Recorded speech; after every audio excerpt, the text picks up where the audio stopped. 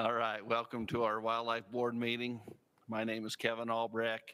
Um, We will start our January 3rd Wildlife Board meeting. What a um, wintry day. We appreciate all those that have traveled up in the, in the storm both today and, and yesterday. Um, Things are looking really good to help fill reservoirs this year and to help with some of the wildlife issues that we've been facing for the past few years. So that, that looks great. Uh, We'd like to start with uh, Wildlife Board introduction, so let's start with Bryce. Bryce Thurgood, I represent the north. Karl Hirst, I represent the central region. Randy Dearth, I represent the Northeast region. Brett Selman from the north. Gary Nelson, Central. All right, Wade. Uh, Wade Heaton from the southern region. Okay. Thank, thanks for joining us online, Wade. Appreciate that. Um, we'll, Thank you for go to our- me. yep. We'll go to our RAC chairs. Braden Richmond, representing the southern region. Kent Johnson, representing Southeast. Jason Vernon from the central region. Uh, Brock McMillan is running a little bit late, but he plans on being here shortly. Daniel Davis from the Northeastern Region, sent in for Brett Prevedel. Welcome, Daniel. Thank you. Justin Oliver, the chair of the Northern RAC.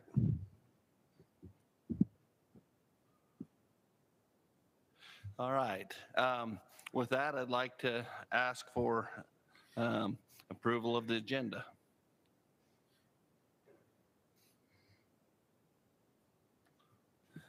I make a motion that we approve the agenda. I'll second it. Got a motion made by Gary, seconded by Randy. All in favor? Unanimous. Um, Ask for approval of the minutes. Make a motion, we approve the minutes. I'll second it. Motion made by Bryce, seconded by Gary. All in favor? Unanimous. Uh, Do we have any action log items, Randy? We do not, not at this time. Okay. Thank you. All right, with that, I'd like to turn the time over to the director for an update. Thank you, Mr. Chair. Good morning, everyone.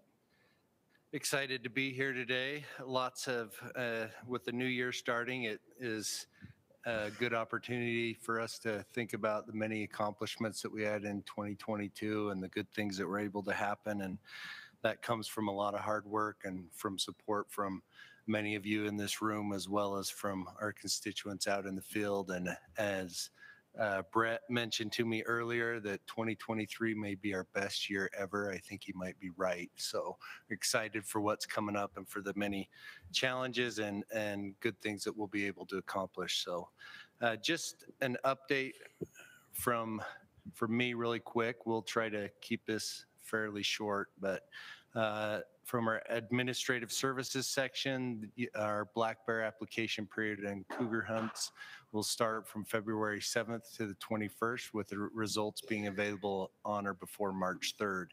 Our general season turkey permits will be available over the counter starting March 2nd.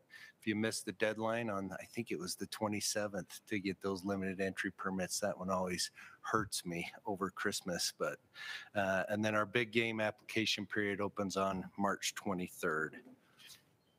Next slide, please. From our aquatic section, ice fishing is happening right now. I uh, just want to emphasize, you know, how good ice fishing is and what a great family activity that can be, and also to be very safe while you're out there. I know last week we had an officer fall through the ice that was actually rescued by the people that he was going out to check. So that's a scary situation, and always making sure that you're safe out there. But ice is they call it the great equalizer and being able to not have to have a boat to access the country. And so, anyway, we've had a lot of success and just crazy amounts of people out ice fishing on some of these weekends, which is which is just great to see. And I think the sport continues to get more and more popular. The other thing with our aquatic section is they've been working on their native species conservation work, and that's all been planned for the next fiscal year, and we're excited about those things. Next slide. Our habitat section, as part of our watershed restoration initiative, we've helped restore a total of 164,000 acres in FY '22. And you can see those numbers on how much seed and how many pounds of seed and acres that were restored by wildfire. Again, I think we bring up this program all the time as far as the partnership that it is and the amazing work that is able to be done on the ground. And we're just excited to, to continue the great work that's happening and proposals are already getting sent in for, for next year's season. And we're excited about that. Next slide. Our law enforcement section, still wrapping up cases from the big game season. Uh, You can see those numbers from more or less through the F, through calendar year 22, we investigated 1,237 unlawfully harvested animals totaling a little over, or a little under $600,000 in value. We also have a new canine. I think the canine's name is Hawk, and it's a black lab, I think, um, that's going to be in training and will be added to our force as far as our canine program goes. And we can see, we continue to see a lot of good success and public support for that program. Next slide. Our outreach section, the 2023 big game application period, it is later. I'm sure we're going to start getting the getting the questions as to why I can't apply yet, and that that will start on March 23rd and run through the 27th of April. Uh, that also means the guideline or the guidebook timeline is also shifting, so it won't be out as soon. We think that'll be posted online by February 7th and hard copies available by March 6th. And we'll make sure to try to get our best education out there as far as the change in that application period. And I think many are aware of that, but it will, it's still very different with this being the first year, so. Next slide. Our wildlife section, uh, big game capture work is still happening. As of December 21st, we captured 508 animals. I, I was lucky enough to show up at my parents' one evening after a meeting in Price, and they said, "What's the division doing down on Goose Nest Drive?" And I got to run down there and and help be involved in a capture for a few minutes. Uh, we have done 439 deer, 63 bighorn sheep, and six mountain goats. As many as you, you, I'm sure, heard our helicopter crash on the La Sals. Those are scary phone calls to take. And we're so grateful that no one was hurt in that. We're extremely grateful for the rescue teams. Those are, that was a dicey situation. Uh, those individuals in that helicopter were, were lucky for sure. And then those that were putting their lives on the line to rescue them also, we're just when we do this work, whether it's our employees or not, it's, you know, we're all engaged together. And so it's, it's hard when you get those calls and we got lucky on that one. So again, the Rackham board members, you have an open invitation to join us on any of these captures that we're doing. We, I get a weekly update right now on the status of our winter monitoring of our herds, whether that's mainly deer and elk. And we have been in a great situation all winter thus far. Uh, we have, you know, we have had a little higher than normal depredation issues in our northern region.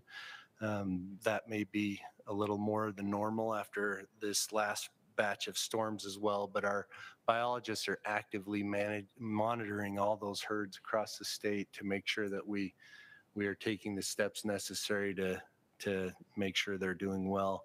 And we've been really lucky with the amount of moisture that we've got, the timing of that moisture, and then the warm spells that we've had in between that. Uh, we're shaping up to be in a very good spot. As far as the data we've been collecting off of our captures on our our our doe samples, the you know their their fat content isn't coming in as high as it was last year, and we actually think that's a good sign that our our fawn production was very high and the toll of nursing fawns is taking a little bit on our does, but they're still above above normal and above average as far as their fat content. So we're excited about that. I don't have any any fawn data to share today, but we'll have that shortly as well.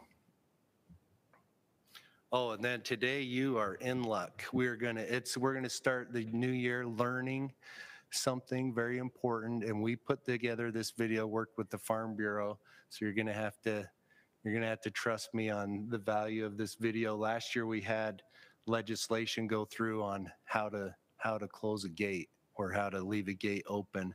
And uh, anyway, we're excited to, this is your treat today is to watch this video, so.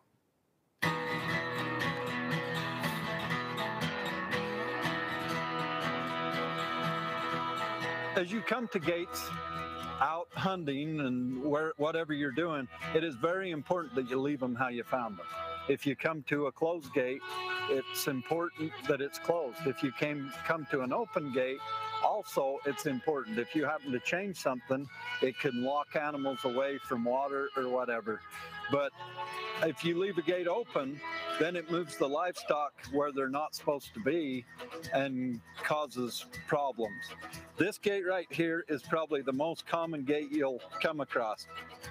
As he opens this gate, you can see he'll pull it around, keeping it straight, not tangling it up, not letting it roll, so that he'll be able to pass through here without driving across the gate. If you drive across the gate, chances of breaking the stays in the gate are real common, or catching the gate and twisting it or tearing it apart.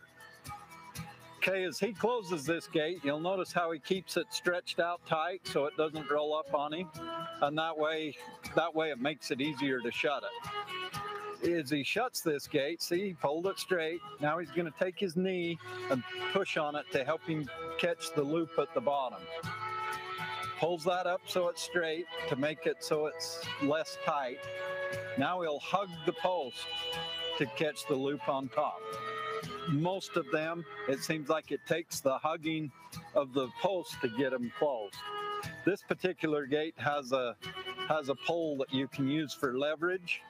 You pull it around, you place this loop on it, and sometimes there will even be an extra wire ranchers have put on there to help ensure the gate stays stays shut. It's important that you put everything back like you found it when you close it. Okay, this here is more of the Cadillac of gates.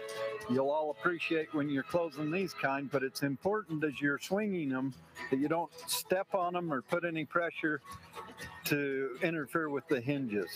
And of course, this is pretty simple. You just bring it around, unlock it. But when you lock it, make sure that this goes down and turns in that so it stays shut.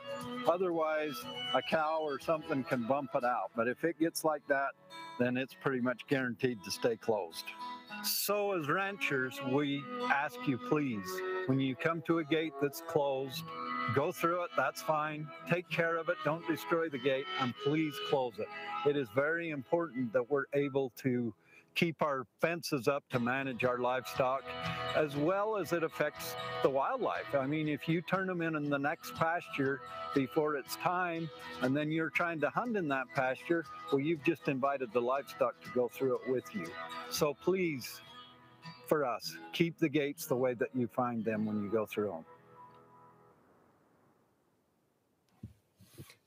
Now you know. Hug the post. That was what I learned. That's been my problem in the first 45 years of my life. Not enough hugging of the post. So If you want to have it, That is my update, Mr. Chair. Thank you. All right, thank you, uh, Director. Any, any question on any of the updates for the Director? The biggest question that we get is when's the official draw date? And, and I, I know we give a date and then sometimes we, th- that's a little bit ahead with the emails, but what's that official date? Did that change or is that? Lindy, do we have an official draw date? Are you talking about so It's like people the can big be game checking permits, their- we say we will at the latest have them out this date. So is there a, a drop dead date that we can tell folks? I thought you might be referencing when people should start checking their credit card for hits and stuff I- like that, but That, that'll go, yeah, that's, that's a flexible date. Yeah, so for this year, um, results won't be posted until May 31st regardless. Just because we want to give us the, ma- this is the, it's such a tight crunch this year. We want to make sure we have everything in order, so we won't release it until May 31st. And then after that, we can, we always will have the May 31st post date But if things are, you know, in 2024 better, we can see the wiggle room, then we will do it earlier. But this year, it's a hard May 31st.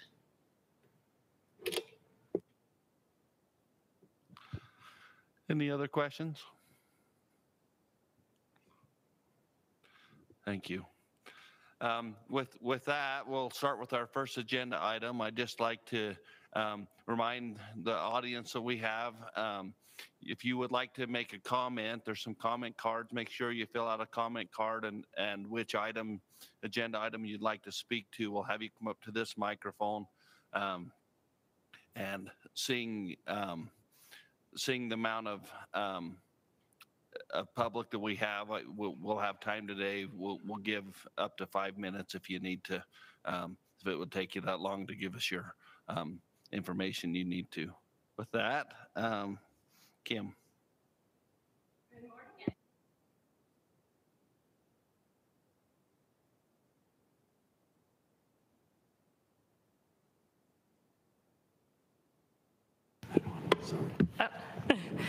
And uh, just saying that um, the Utah prairie dog has now been listed under the Endangered Species Act for 50 years, and we've made really amazing conservation strides during that time. And we think it's time to delist the species. But in order for that to happen, we need to have assurances and a management plan in place to say how the prairie dog would be uh, dealt with after that time. So that's what this conservation strategy and the associated administrative rule represent today. So I'm happy to take any questions or, or comments you might have on that.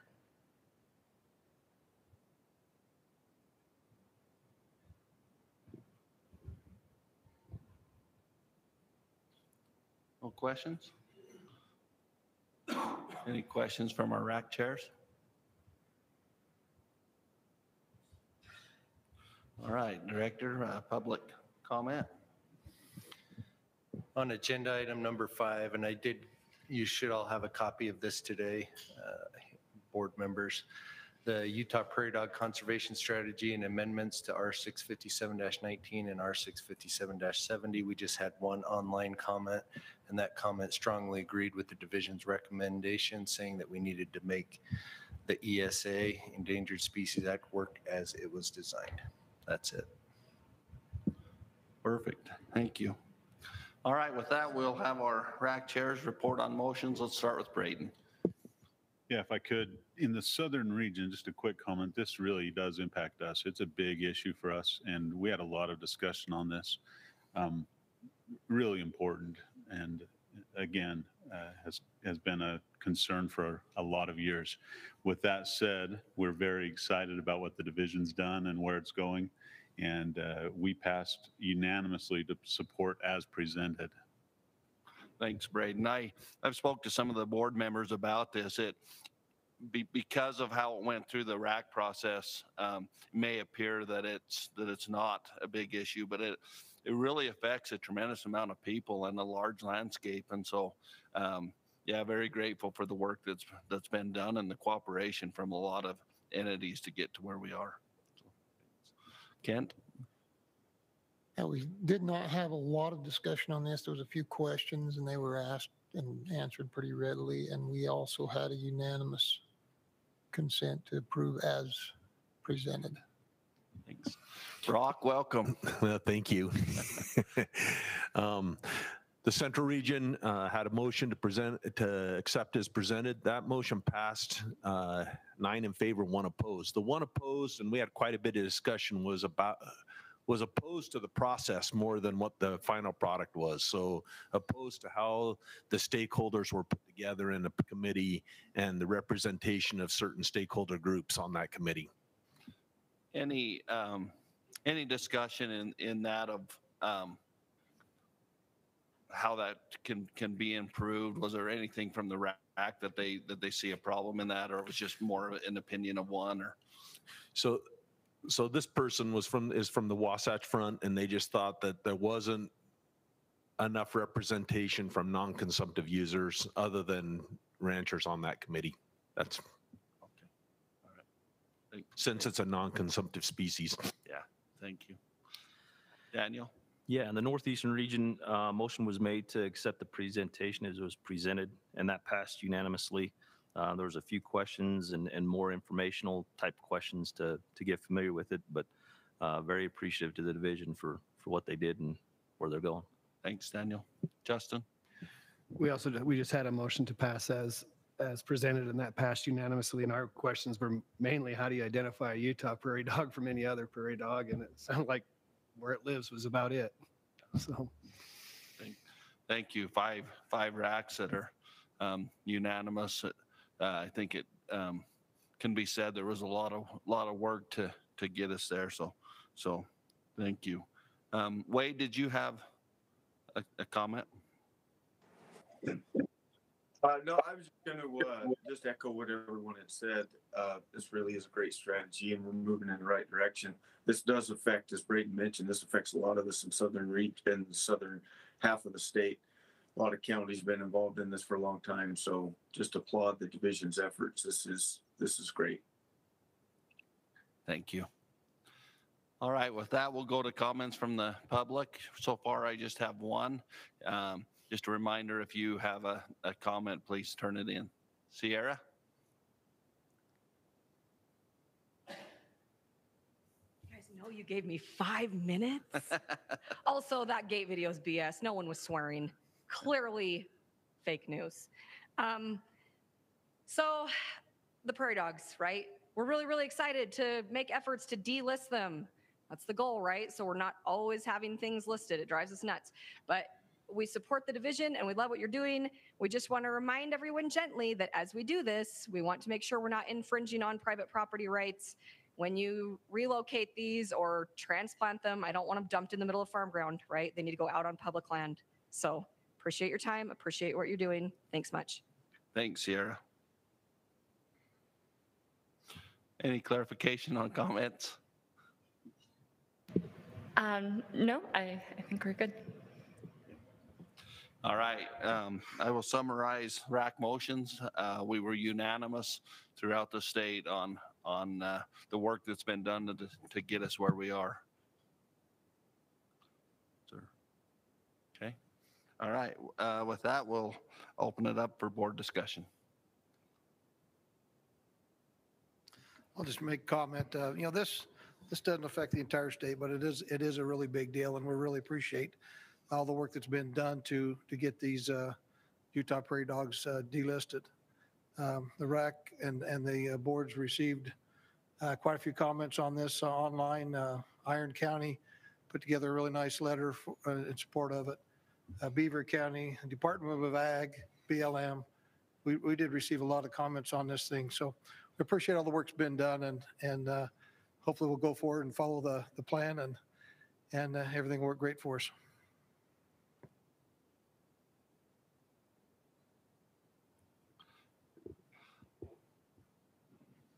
I, I would just like to, uh, there, there's a lot of work be- behind the scenes um, to get to where we are. Um, to get this many stakeholders to, to come together and work through this, there's a lot of effort. So I'd like to, to thank all of the um, division, all the other agencies that work to get us here. Kim, thank you for, for a very good product and appreciate the efforts.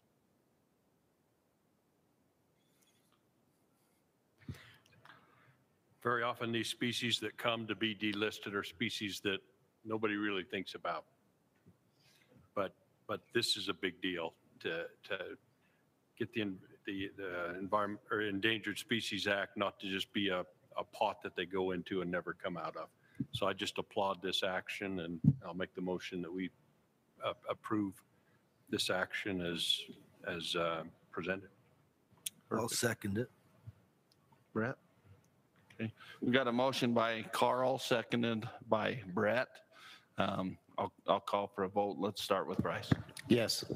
Yes. Yes. Yes. Yes. Yes.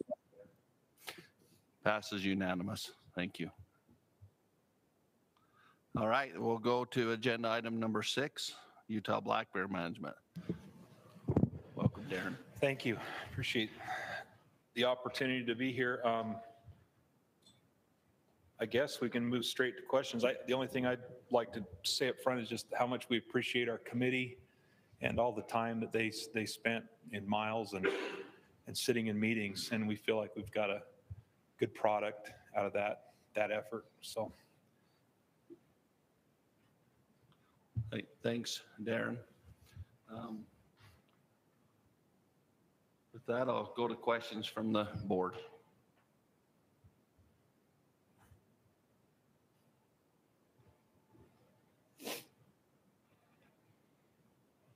Okay, questions from RAC chairs?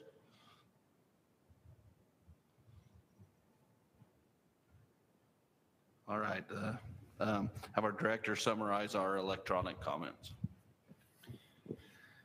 Thank you, Mr. Chair. On agenda item number six, Utah Black Bear Management Plan, R 657-33 rule amendments and 2023 Black Bear recommendations. We had 14 online comments.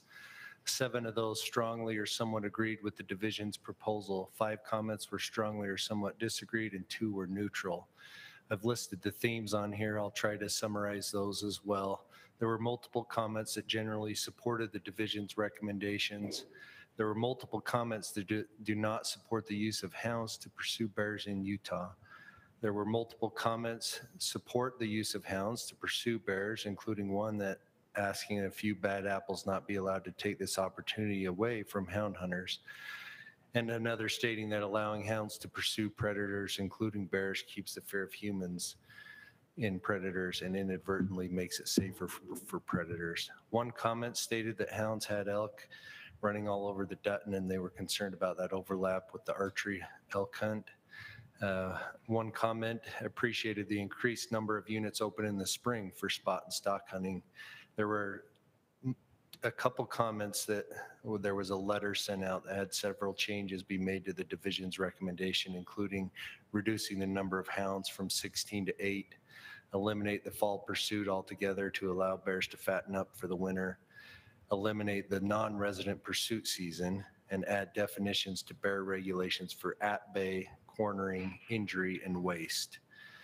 There's one comment supported the recommendation of allowing hunters to share bait, baits with permission. There was a comment that had concern with dropping the fall bait season, stating that sportsmen that like to use bait can do that themselves and don't have to hire someone. And recommended maintaining a fall bait season during the month of September. There's one comment didn't support the division's recommendations because they felt that there was a reduction in hound hunting opportunity and expressed their want for bear hunting to be managed for more quality, not the cougar extirpation plan, as they put it. That's it. All right, with that, we'll go to our RAC chairs. Let's start with Braden. Right, so we had one motion on this, uh, that we accept as presented uh, with the addition of to require an education online course similar to the antler gathering course after obtaining a bear permit. And if I could just clarify that uh, briefly. So I had the opportunity to sit on the committee and maybe understand this discussion a little bit. On the committee, and Darren can address this more if he needs to, we discussed that uh, education course and uh, the pros and cons of it and the challenges with it. One thing we didn't look at during that committee was this idea of just uh, requiring the certificate after the fact. So once you draw the tag, getting a certificate sim- similar to the antler gathering course. So that was a proposal is to go that route. So not everybody applying has to take the course, only those that draw, and they just can take it after the fact. Um, the reason I wanted to comment on that a little more specifically is we had three opposed to our motion. All three of the opposition were that they felt like uh, we really wanted to go with a simpler plan, which was the goal of the committee, and they didn't want to see another thing added to a simplified plan. So that was their opposition. Thanks, Braden. Kent?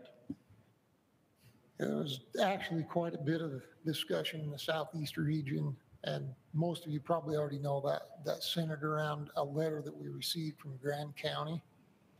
And, you know, they wanted some further restrictions, Grand County, the commission actually signed the letter. I believe the letter was written by the then Grand County attorney, who has since left office.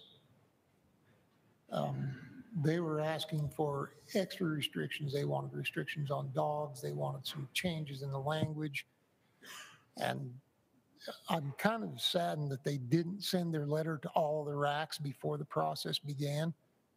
Because you know, only sending it to us. I mean, we are the RAC that represents them, but what they were after and what their ask was was big enough that all the RACs should have been able to see that and it should have been sent to everybody. I believe all the board members got a copy of the letter they sent after the RACs had all finished, wherein they were, they were demanding some changes. And they actually drew up what they thought the language should say in the administrative rule. So there was a lot of discussion on that. Um, Part of it, um, their, their letter, and I'm sure this will come up in the board's comments and discussion as well. Um, The feeling we had in the Southeast RAC and discussions we had as RAC members after we got that second letter was that it was kind of a shot across the bow. We felt like they were, you know, they were tell, they were issuing an ultimatum that they may seek further action with regard to this. So something to think about as we go forward. And with our, with regard to our motions, um, we had one motion to ask the division's attorney, Kyle Maynard, to, to work with the division and other entities that he felt appropriate to look at some of the language in the administrative rule to maybe tighten up some loopholes. And that motion passed unanimously. And then there was a second motion to accept the remainder of the, of the presentation with the addition that the ethics part of it be sent out to successful hunters with regulations on federal lands with regard to what's permissible on federal lands and also information to let people know that if, if you're guiding or you're using federal lands to earn money, that there, that does require a special use permit. And that also passed unanimously. Thanks, Kent. Brock? Thank you, Chairman. We had three motions. The first motion was to ask the division to overhaul that orientation course, to modernize it, and to make it only required for those individuals that actually draw the tag, um, rather than everybody applying, since only a few percent of people actually are successful. Uh, That motion passed two to, two, uh, uh, unanimously. The second motion was to approve the remainder of the recommendations with the exception of the use of chocolate as bait. Uh, That motion failed 10 to 2. The idea there was a lot of people go gather stuff up from a bakery store or something, and there's a couple of chocolate chip cookies in there, and that would make that whole pile of bait useless if this passes, but it did fail. And the final motion was to approve as presented, and that passed 11 in favor, one opposed, and the opposition was the same thing as the last motion, and that was the composition of the committee seemed really strongly biased toward us, a few, a few user groups. Thanks. Daniel? Northeastern region, there was some discussion about, uh, and some concern from our Forest Service partners uh, with dispersed campsites, because the rule calls out like designated camping areas. Uh, they're had concerns about the dispersed camping areas that aren't designated. Um, But with that said, the motion was made to pass as presented, and that went unanimous. Thank you. Justin? Ours was pretty simple. We had a motion to accept as presented and it passed unanimously. Thank you. Uh, Clarification? Darren? Um, can I- Nothing specific yet, but I think we'll have some discussion here that we can Can, can I ask the question from the, um, the Northeast region on the clarification with, with the, the designated camp areas? Can you further elaborate what Yeah, that? so our, um, our regulations are, are tied, so this is about bait placement.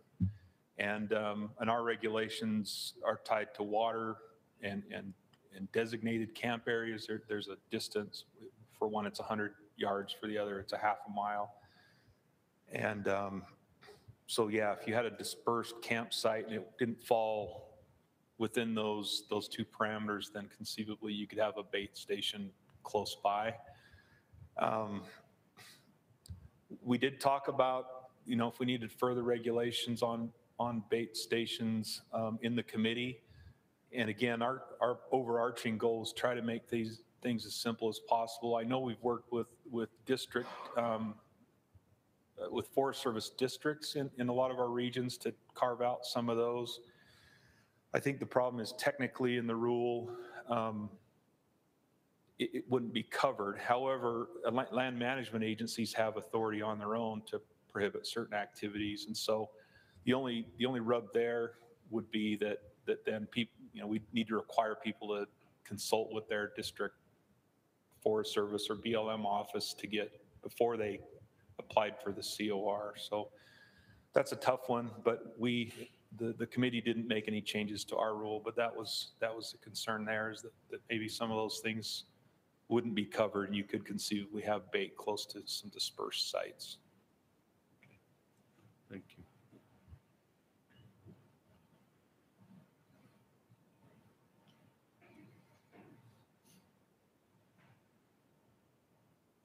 All right, with that, we will go to comments from the audience. Uh, Sierra Nelson, followed by Corey Huntsman. Good morning. My name is Sierra Nelson. I'm with the Utah Wool Growers Association. I actually had the pleasure of sitting on the Bear Committee, and it was quite productive and great. We really appreciate the time everybody spent doing that and the things that we were able to accomplish as a group. Um, as you guys know, I'm always beating this drum. There's too many bears. There's too many bears. We need more active management of them, and I think this plan speaks to that, and I think it's going to help with that. I like the idea of there being a bear tag that's available to big game hunters or just any hunters when you get a hunting license. I think that's going to be awesome. I'm hoping it'll reflect the $10 lion spot and stalk tag. I think that's going to be great price wise. I think you'll get a lot of conservation dollars that way and you'll fleece idiots like me who always put in for them. I actually am a bird hunter. I'm quite proud of my dog. And I've seen more bear sign places I've never seen it before this last fall than ever before. And it freaked me out. Like, huh, huh. So I would definitely put in for that spot and stalk bear tag. And I'm excited to look for it. Um, speaking to the rest of this plan, I really think it's solid by the division. We want to support the recommendations. I know that they got some kickback, a knee jerk reaction to one complete jerk who disregarded everything and was unsportsmanlike and did things that I just don't even feel like bringing up. But I don't think that a knee jerk reaction to that is what we need here. I think we spent a lot of time putting this together as a committee and we're really thoughtful about it. I can't imagine reducing the number of dogs just because Grand County is having heartburn. I think we need to just stick with the plan and go forward. I really appreciate everybody's work on it and I thank you for your time here. Thanks, Sierra. One of the things that uh, I heard uh, watching all of the RACs was that the livestock industry was very well represented on the uh, on the committee. So thank you, Corey. Corey Huntsman, I'm with the Utah Houndsman Association. Um, I agree with Sierra on, on the knee-jerk reaction. A couple years ago, there was a working group put together as well, and I was on that one. And we addressed all of the issues that came from that one bad individual. Um, we haven't had any instances since then. In that committee, we voted unanimously to have a 16 dog limit, passed all the RACs unanimously, passed the wildlife board. Fast forward two years, we just passed this new committee. I was on that as well, and it passed this committee the same, passed all the RACs unanimously. We, I don't see a reason to change the 16 dogs. We just haven't seen any problems since then. On the public comments, I think the others were um, the non-residents. We, we restricted them then as well, down to unlimited, down to two per unit. I, I don't see any reason to further restrict them. Um, and then, uh, what was the other comment? Um, I think that was about all of the, the comments against hound hunting and, and changing laws. Oh, the verbiage, I, Grand County's verbiage, I think that was just I mean, that would outlaw hound hunting the way they worded it. I'm not against the division working with Kyle on, on tightening that up, but I, I think that should be between the division and Kyle. And, but the Utah Houndsman Association supports the division's recommendations. Kevin Martin, followed by Russ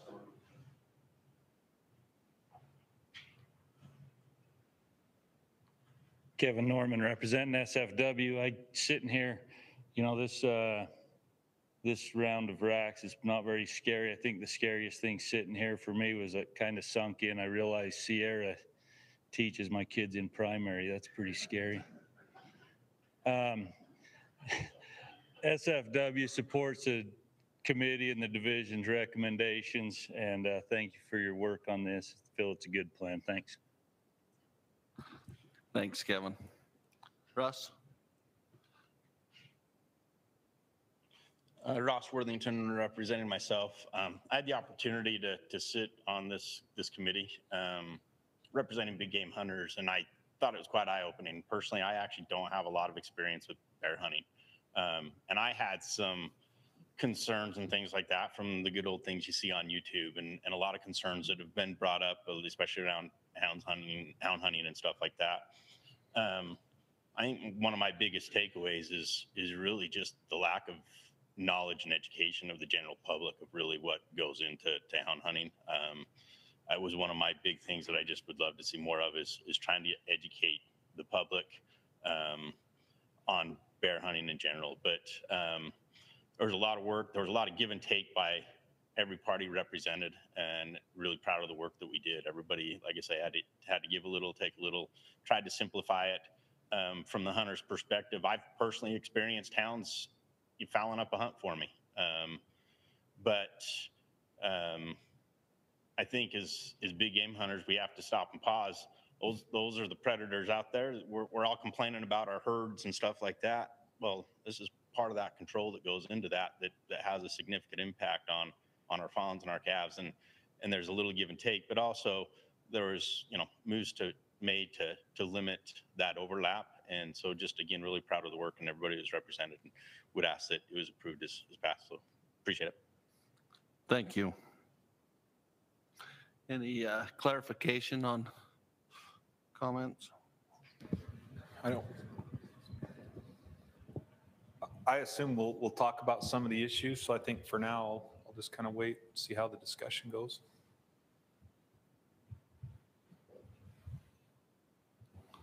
Thank you. One, one thing um, in the um, southeast region that, that come up was that um, it- the, the language that would allow the, the use of a metal container, and it, it- maybe it come out a little late, but, but the way that is written in, in rule with, with Forest Service rules is that um, is not allowed. Can you speak to that a little? And Yeah, so the, again, yeah, that, that came up, yeah, southeastern. So uh, the concern there was that um, you're putting out a container, that may require some further action by those land management agencies to allow for that to happen. Um, So, so we did discuss that a little bit. I think, I, I'm not sure what the rem, remedy for that would be. Um, Our recommendation was to allow it, but, but if you couldn't do it on the forest, again, that may be something the forest would prohibit, or we could simply drop that recommendation for now and, and maybe work with those management agencies a little further. We did have representation on the committee, but I don't think that, that they were thinking about this potential issue. Um, I, maybe wearing two hats, I, I would say that it would be um, not real fair to bear hunters to have it in the guidebook that they're allowed to go do that and then have them go on the landscape and could be uh, ticketed um, be- because they, they don't know that it's not allowed. It would just take some action and some work, uh, working with those agencies to be able to get that on the books, but it's currently not. So um, just ask the, the board to think about that as we, as we move forward. It might, might put a lot of our license holders in, in um, a place they, they don't want to be, to be um, thinking that they're following the guidebook and then actually be uh, going against land management. So just open it up for board discussion.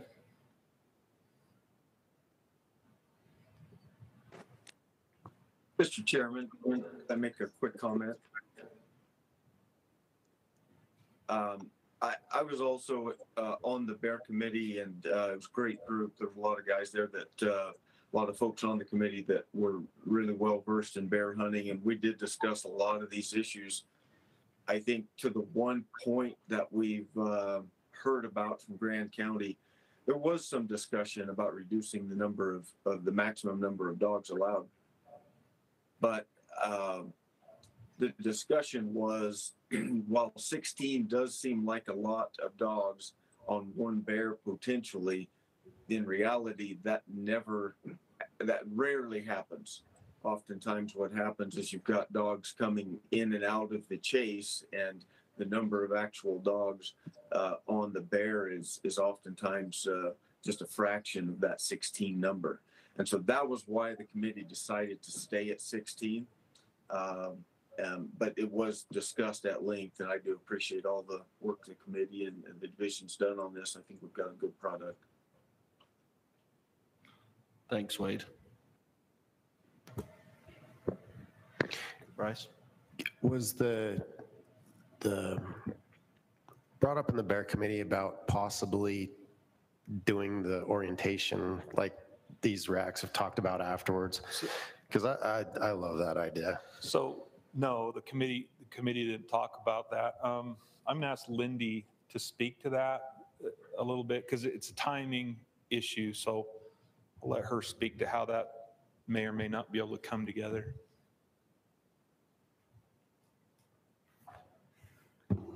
Okay, so I'm going to give a little bit of a history on the orientation. About a decade ago, we did do this where you'd have to take the orientation once you drew out. So that, so um, there was a lot of problems with that because of the timing. People would draw out the first, like find out the results towards the first week of March, usually towards the end. And then the spring hunt, which we give the majority of our permits to, starts three weeks later.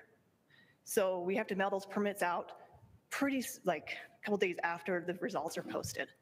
Um, People wouldn't be taking the orientation in time because they just got the results. We need to mail the permit out two or three days later. The Majority of these people were not taking the orientation. So what would happen is they wouldn't get their permit before the season opened because of this orientation. Then they would call us and say, well, you never mailed it out to me. I didn't know I was hunting, so I want my points back. We had many, many meetings on this. And the result of this, we came to the board about a decade ago and said, we need to fix this issue. Um, And the result was to make everyone take it because they wanted an orientation. So now that's the history of it. And we're still in the same kind of predicament. The results are posted, you know, March 3rd this year. The hunt opens on April 1st. Last year, we issued like 37% of the spring, of the quota to spring hunts. So if we make 37% of our hunters take it within that three weeks, majority of them won't get it when the hunt opens up. And we'll be back to the same problem we were a decade ago. And that's the reason why we're recommending it to do like a flyer. Because when people do get their mail, they open it up, they'll look at it, they'll read it, they'll get the information that they need. And that's why we're recommending that instead of the orientation. Thanks, Lindy. Just one thing, I think Braden's probably going to bring this up, but I think the idea from the RAC was we wouldn't tie it to the permit issuance, so a person would get their permit, but they would have to, similar to antler gathering, they have to have this piece of paper with them when they were hunting. And I don't know if you've thought about that aspect. I think maybe we I- misunderstood each other. Um, I- For that aspect, I see that being more of a law enforcement issue. Um, Just because we mail the permit, permit out, and what happens if they didn't take this course? You know, then they have a permit, we're saying, hey, go hunt, but hey, you can't because you haven't taken this orientation, and what if they never took it? To me, that's more of a law enforcement, where we would be allowing our hunters to hunt with the permit, and then um, it's doable. We do with the, the antler gathering course, so it's the same test, but we put the responsibility onto the hunters, and they may or may may not be cited. I guess it's no different though than if, when you buy a duck hunting license, if you don't, when you have your hip number and that stuff, I mean, you have to have it. It's your responsibility. Mm-hmm. You have to buy the permit, but you're the one that has to do that. So, I We- mean, there could be a place on the license that says, you We'd know. probably have to put like a little flyer in there. Yeah, saying- did you take the course? And yeah, because I I don't, definitely don't want to put any more undue headaches in your world, but I do like where these guys are going with that idea. Lindy, what about, didn't we have that for Lions, the flyer that came with the tag that, didn't- and that worked, didn't it? With the Lions? Yeah, didn't we have a No, flyer that we- came? We don't, not for Lions. We Um, used to. Not in my, in my time. It's just strictly online where we put in the guidebook and people can go online and just take this course, but it's not mandatory. But we don't send it to them in their permit saying, hey, go take it. You know, this year we started doing the bison, you know, the, the shoot, the bullet placement. That's a flyer that gets mailed out with those permits. Um, So that's, like I said, you know, what Bryce is talking about and what the region's talking about, it's also do, it's always doable, but we, you know, don't want to put our hunters in a situation where they may get ticketed for not knowing. A, a question, Lindy. Um, I know sometimes when we ask for, for licensing to, um, to change, there's a big cost with our contractor to go do that. But with this, with, with it being on the license, what would, what would that entail to be able to have a place on there, maybe where they write their, um, the course number on that and it's a reminder? Would, would that be doable? What, what does that add? Um, to, to do a whole, like, to write the course number on their permit would be a rewrite of the template, because our templates, you know, for every species that has a kill tag. So it'd have to be a unique template, which could take months to put into place. It's not something we could do for this one, because it takes time to create it and then send it over to our contractor to print on, which we wouldn't have time by, you know, March 1st, when we start doing everything. Um, My recommendation, if we go the route, is to kind of, you guys were, the Swan Harvest Survey card, like a little business card that we put with our Swan permits. You know, it's just an informational saying, hey, you need to do this. So when they open the permit, they have it on there and we can, you know, figure out something where they can write to say, hey, you need to keep this number on you, kind of like your HIP number. Not everyone writes their HIP numbers on their permits. Not everyone signs their duck stamp, you know it would take some working, but the template wouldn't be ready in time t- for something like that in a month or two. But something that down the road we could look into. Sorry. Sorry. The only thing I'd add is um, we'll need to take a look at, there's one additional step here than, than what we currently have to do this. And, and that would be, they, we need to issue them some sort of number or COR. And I'm, I'm not sure that, what that would entail from licensing to add that functionality to the, to the orientation. Um, But, but, uh, you know, the idea is, is a good idea. I think we just need to work through some of the nuts and bolts if, if we, if the board decides to do it that way. I- And I don't know if anybody can answer this question, but we've, we've been doing this on the orientation for a while.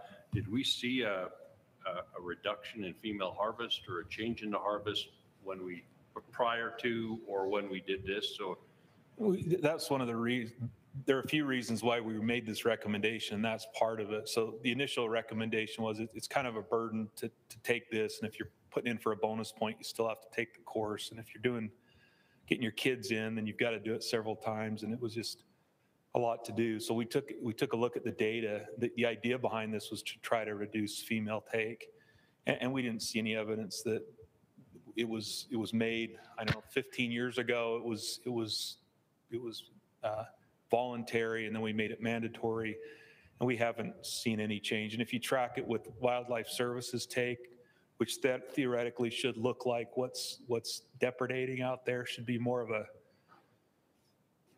representative of what the population of bears looks like. We, we saw virtually no difference between what Wildlife Services was taking in, in terms of females and, and hunters. So it doesn't seem like making it mandatory is necessary. We still think people need to have that information. And so our, our proposal was to, and again, with the idea of simplifying things, to make that information available with their permit when they, when they draw it. And that's, that's why that recommendation is the way it is.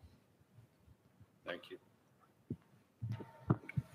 Wouldn't it simplify things that everybody that puts in has to have the COR basically? I mean, they get a number. I mean, now you could get rid of all of those people doing it and only concentrate on a few. And granted, this would be like something that would, a year from now, you know, on the permit that I really like that if they draw the permit, then it's up to them to take the class. And maybe you could even add a little bit or dial it in more. I mean, people are more focused on it. Like when you're doing it for, you know, with your kids and stuff, I mean, it's like you're on autopilot. Yeah. But if, if you actually have a tag in your hand and you know that you have to write, you know, take the course and write it down, I think it might resonate a little bit more Yeah. with them. So just from clarification, it's not a COR. We actually already issue a number to people that take this course. So like if I went to my profile, I can look at my last year's orientation for Bear. I already have a, a number associated with it, with me. So we already have that in place. Um, You know, we do that for all of our courses. Um, It's just a, an authorization number. It's not a COR. It's just an authorization number. But it's, it's the template, it's just getting all the, the the ball's rolling to get it done, done, and I don't think it could be done for this year. So,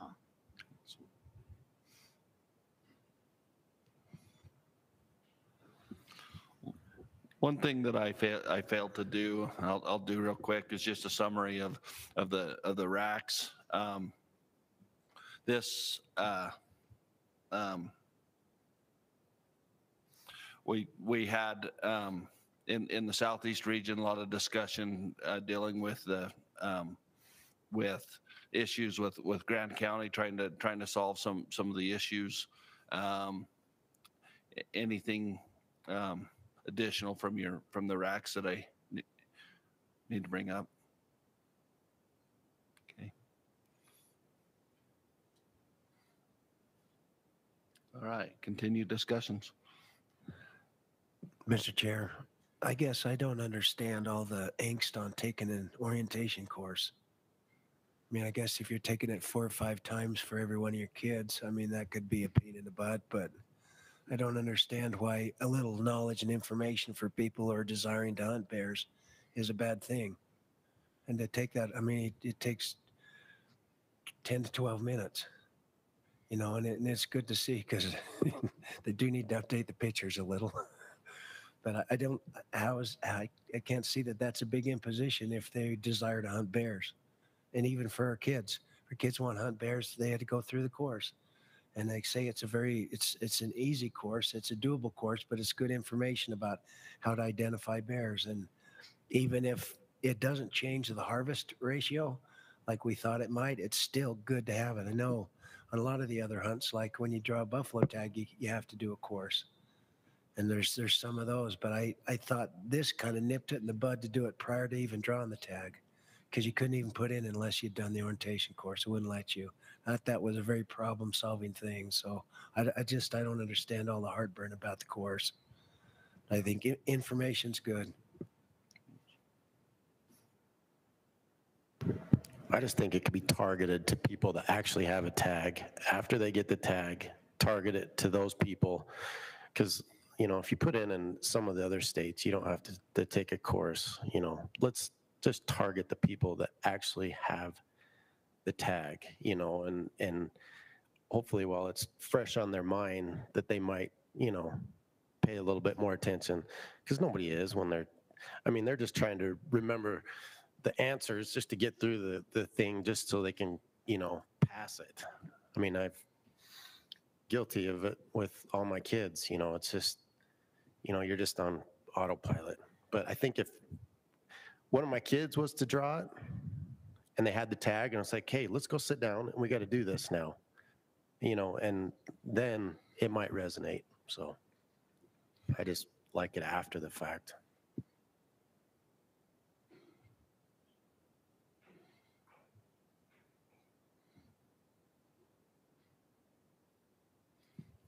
darren does you what do you see happening down in the moab area with uh, dog numbers and stuff i know we the letter was received we all saw a copy of the letter and what, what do you see happening? Where's that headed? I mean, because So- it's, it hasn't been that long since they restricted them from unlimited dogs down to 16. So now if they keep like chopping it down, what's next? Four, and then what after that? Two, and then none? Kind of how some of the other states have done it. But uh, where do you see this going? So the feedback we've gotten so far um, from the forest down there, which really was having the biggest problem, and it was mainly a, a numbers of dogs in camp and, and people kind of uh, having problems with each other, that what we've done so far has actually really helped. And so I think when the board, this is probably about three years ago, we made these changes, two or three years ago, at the beginning of this cycle. Um, we, we did quite a, we did we, we limited the pack size, we limited the, the number of dogs a person could use in the spring. We limited the number of non-resident permits available on the La Sals, the San Juan, and Book Cliffs. And, and the feedback we're getting is that that, things have improved a lot. And so I think we're in a good place with this. Um, Kyle did meet with Grand County um, a couple, a week ago, a couple weeks ago, had a pretty good meeting. Um, we certainly are, aren't opposed to, to tightening things up just to make, sh- you know, if, if we can, to make sure that, that people that are bad actors, um, that we can prosecute, but we want to be careful about casting too broad of a net and, and catching people that are out there, you know, doing an honest, putting in an honest effort. So that's kind of where we are. Um, you know, there may be some way, one of the things we talked about is, it seems like one of the issues was when does, when does a pursuit end? And the intent in the rule is that, you know, once you tree that bear on a pursuit permit, you're done.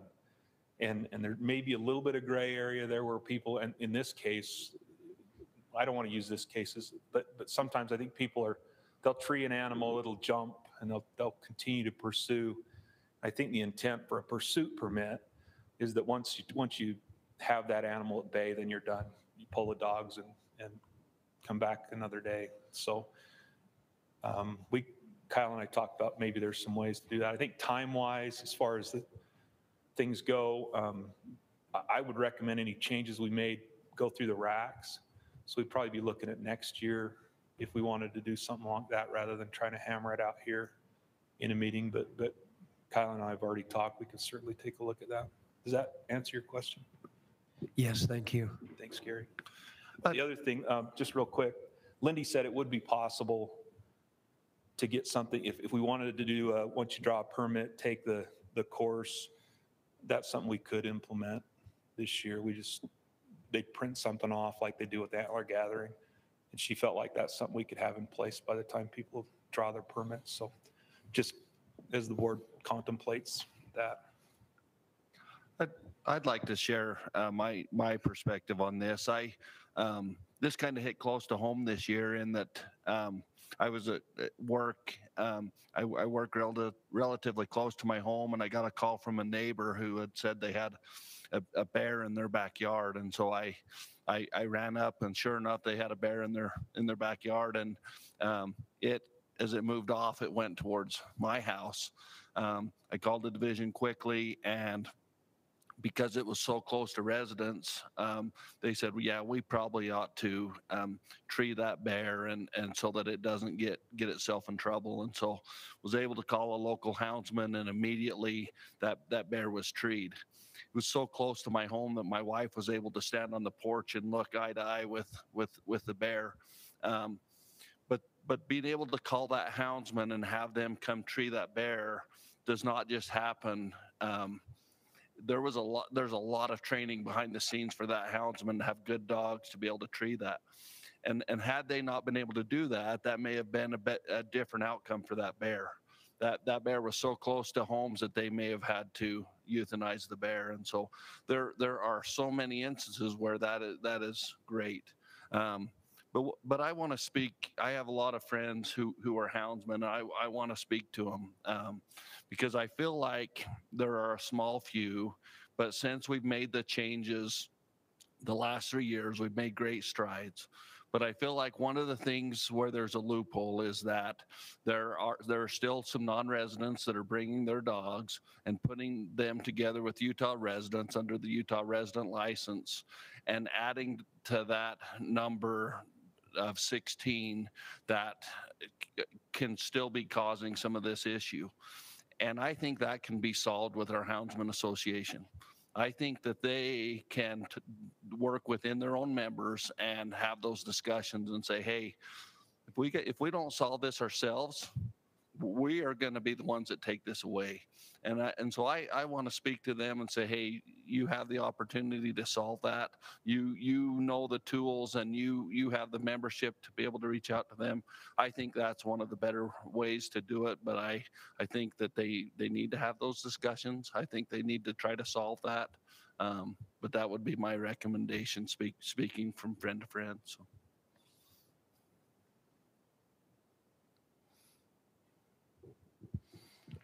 Just a a little conversation about the barrels again. I, I remember the days when we, we, we struggled to get approval for bait locations. And, and that was, that was generally Forest Service. Uh, The relationship was not what it is now. And, and we're in a good position. And if, if taking away the barrel proposal in this is a, is an easy way to, to maintain that relationship, I think it's a simple thing.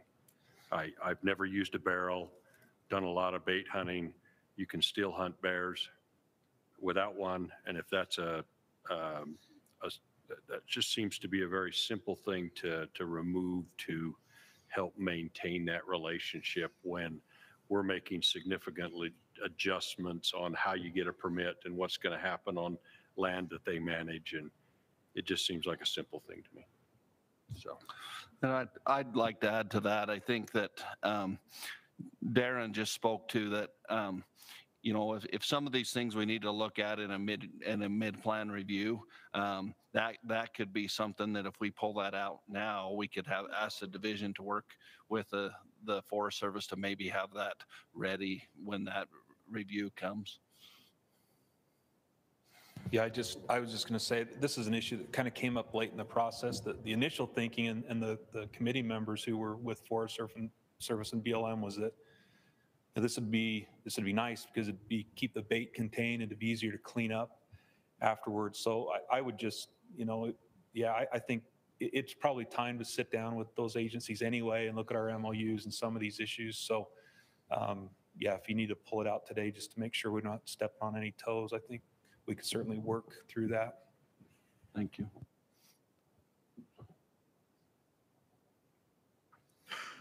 Um, uh, Kyle, I, I would like you to maybe um, speak to the, the language and, and where we are and, and if there's anything, any actions that the board needs to take with that. Morning. Yeah, Kyle Maynard, the Assistant Attorney General for Wildlife. Um, So at the moment, I don't have any proposed language, um, like Darren said. So I had a, a good call with um, Christina Sloan, the former prosecutor, and Trish, the Grand County Commissioner, uh, right before the holidays. And um, we talked through, you know, a couple different topics on their letter. Uh, But the big thing I asked from them is, is give me some time to look at where the rule is deficient and talk to, you know, talk again with Grand County, talk to um, law enforcement, talk to the Houndsmen's Association, and let's figure out what rule change would make this more clear and better. Um, and how to, how to prevent this from happening again. What makes this more clear? Um, what I'm afraid of and, and what I didn't want to happen is something get rushed and we end up with something that's difficult to enforce or doesn't enforce the right, right thing. Um, so right now, my plan is to, at the new year, touch base with uh, different people in different groups, and then I have a phone call mid-month again with with Grand County, and just keep talking over issues and work with Darren to come up with some some possible rule changes.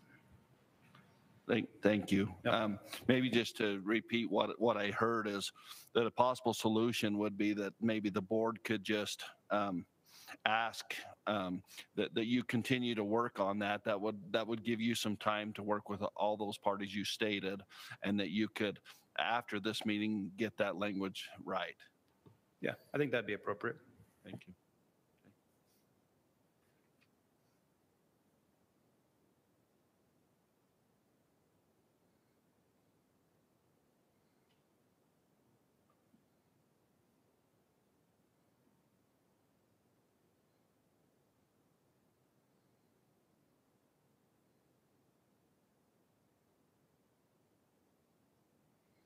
So three, three things that I've written down is, um, that, that ask that we kind of break down is, um, do, do this piece by piece, but, um, we need to dis- discuss that course.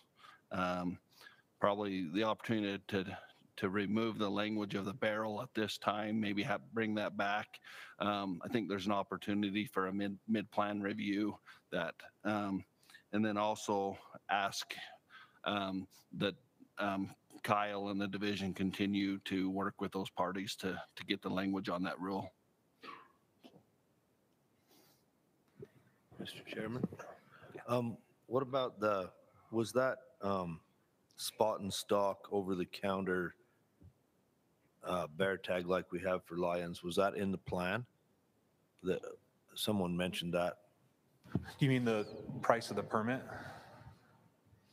Was Or, it just, so we do have a spot and stalk permit available. The difference, um, we used to have a cheaper permit available we could use for lions. It used to be 30 bucks, and I, I believe the board passed a recommendation to the legislature to reduce for cougars to 10. Uh, the committee did recommend that we, that we look at having a reduced price permit for spot and stalk bear uh, over the, you know, hound or bait permit, but that's something that would have to go through the legislature. So if the, uh, yeah, if the, if the board accepts our recommendations as presented, there, there'd be some discussions about trying to get that into the pipeline to, to have a little bit, it's a much, it's not as low success as Lions, um, but it is still pretty low. And, and I think we could justify a little bit less expensive permit for, for spot and stalk bear. okay, but that is in the plan. That is in the plan. Yeah, that's, that's something the committee is recommending that we look at.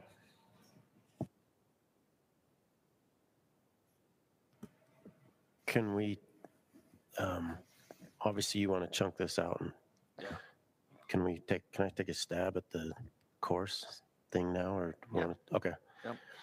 I just, and I I don't want to do it for this year because I don't want the division to feel rushed that, you know, they have to do this here in the next few weeks, but I'd like to make a motion that we look at um, removing the orientation course and doing it similar to the antler gathering where they issue their permit, then they take the course and uh, make that mandatory for 2024.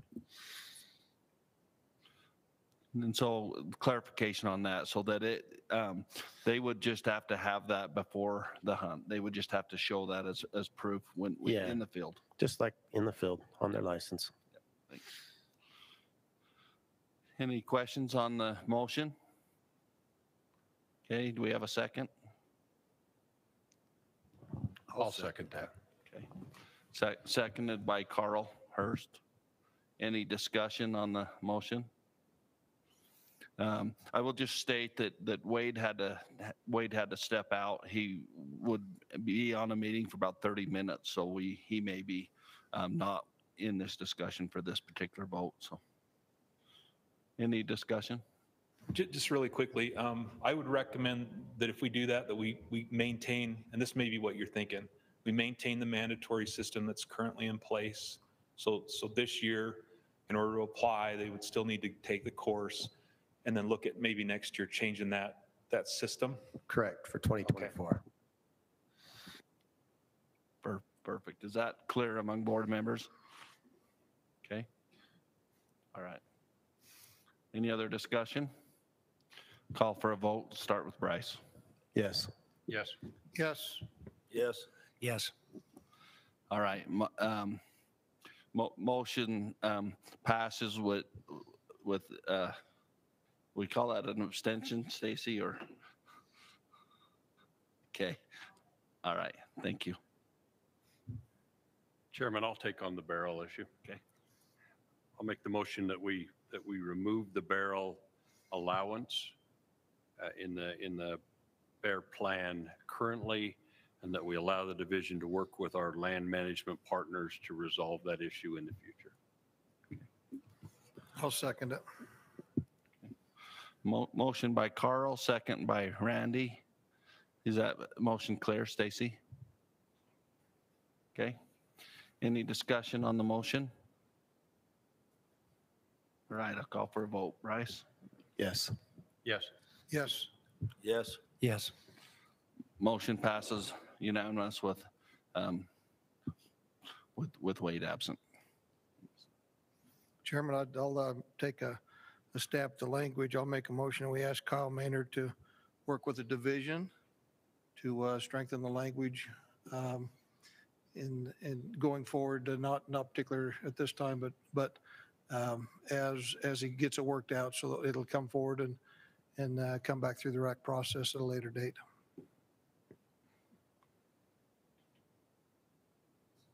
I'll second it. Okay, we got a motion by Randy, second by Gary. Um, Any question on the motion? All right, I'll call for a vote. Bryce? Yes. Yes. Yes. Yes. Yes. Motion passes unanimous with uh, Wade absent. Um, well, Before we get to the, to the end of this, one thing that I would, um, lis- listening to Darren, that they are open for a, for a mid-plan review.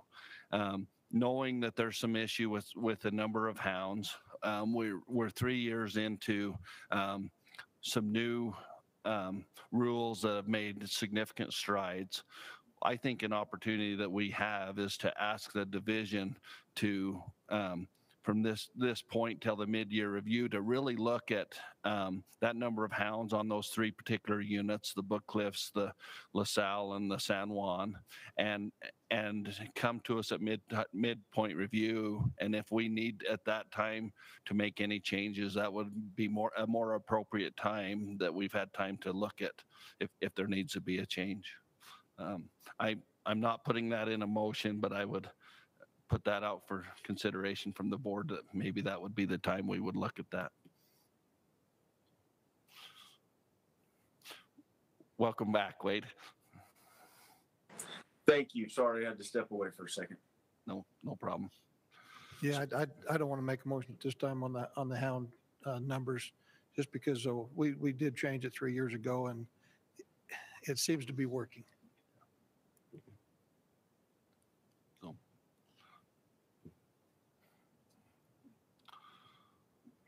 So we, we, ha- Wade, um, so we have made some motions. Um, I'll, I'll take a tackle at it. Board help me. So we, we did, um, make, make a motion, um, on the, uh, um,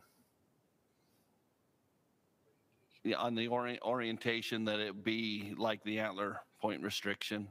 Um, we did remove the language on the barrels, um, and that would take effect in 2024. Um, and um, Randy made a motion. Yeah, the motion was to ask uh, uh, Kyle Maynard to work with the division to strengthen the language in the plan as needed, so we could uh, prosecute some bad actors better. Okay. And so that, that's where we're at. We're. Okay, thank you. But, but, the- but we're still open uh, uh, on this issue, so.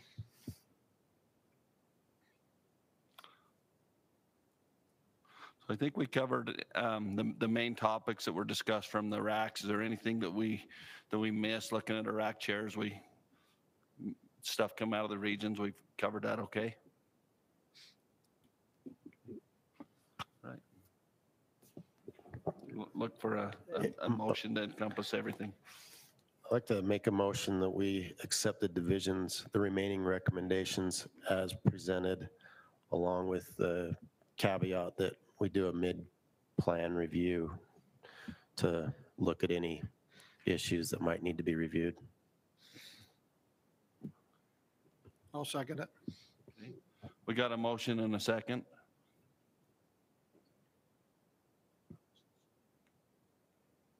All right, any discussion on the motion? All right, I'll call for a vote, starting with Bryce. Yes. Yes. Yes. Yes. Yes. Yes. Right, motion passes unanimous. All right, with that, um, we, we will go to agenda item number seven, Fur Bear and Bobcat season dates. So uh, this pretty much represents uh, just a change for calendar year on the, on the season dates, but, but not a lot of changes.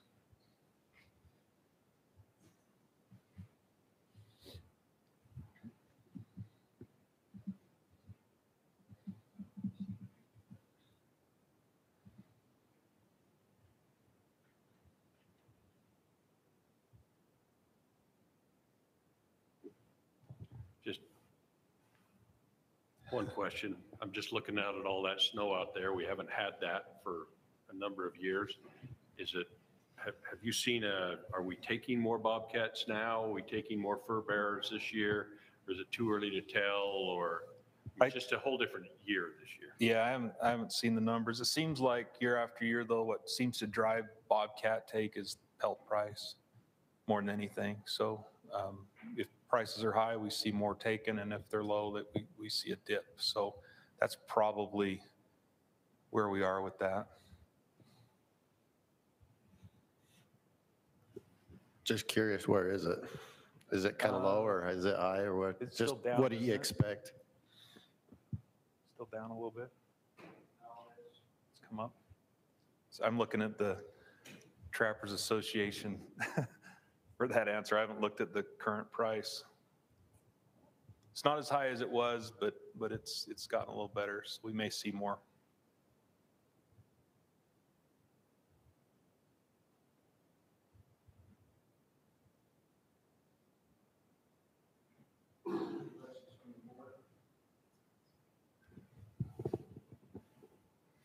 Questions from the RAC chairs?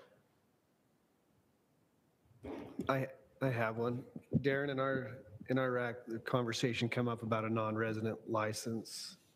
Um, Can you discuss that? I know there was conversation about coyotes and not being a, Yeah, so, um, so there was a, a proposal from the Trappers Association to, uh, require non-residents who, who come to Utah to trap for, for what, any reason, to acquire a fur bearer license, non-resident fur bearer license. The concern that they had is that a lot of other states are requiring that.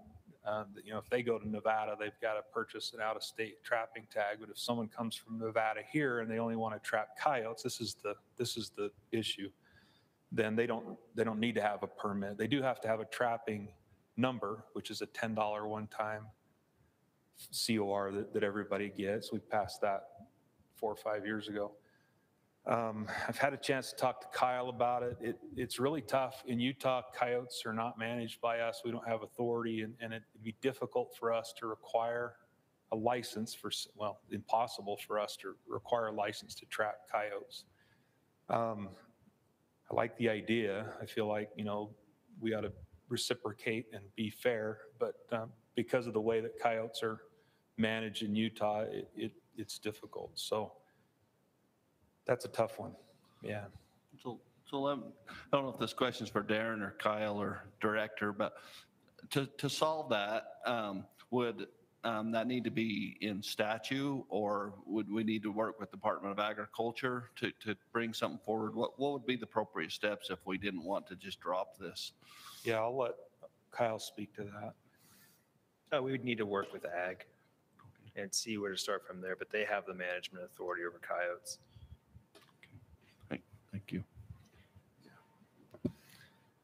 Darren, one question that that brings to my mind is our trap registration or trap number that is issued to a non-resident that's currently $10. That's the same as the resident price.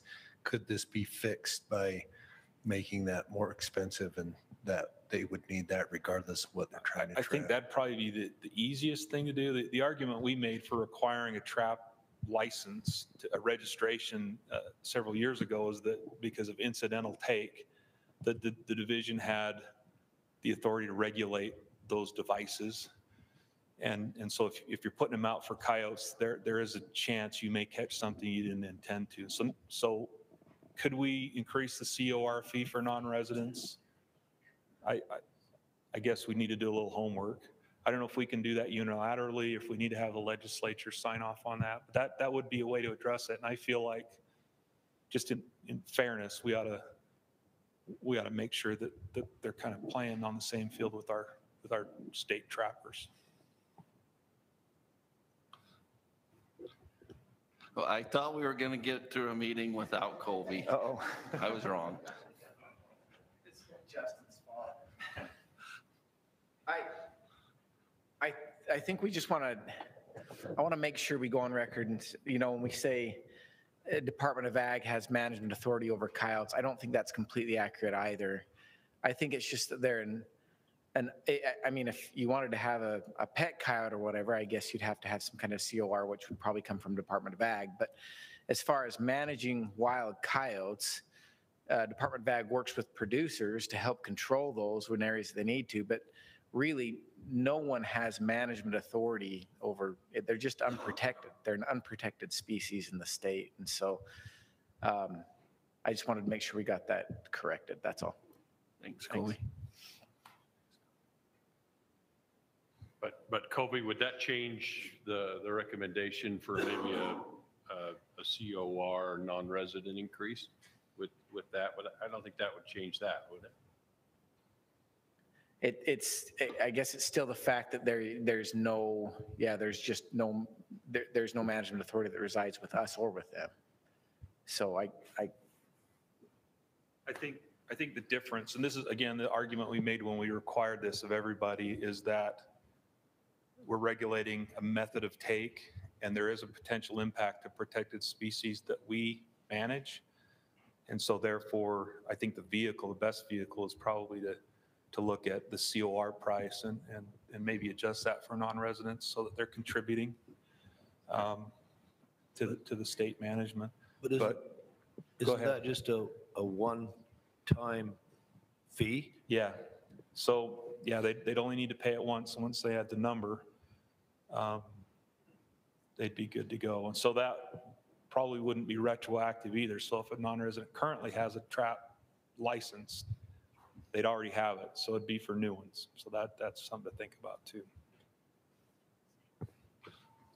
Go ahead. Okay, some clarification. It's not a COR.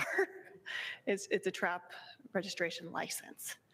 Um, It's not a certificate of registration. So non-residents can purchase the trap registration license for $10, the same price as a resident.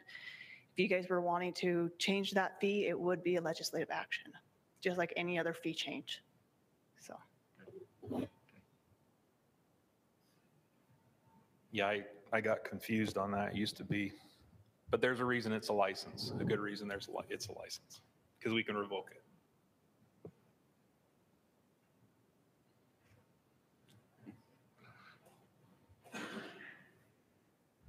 that clear?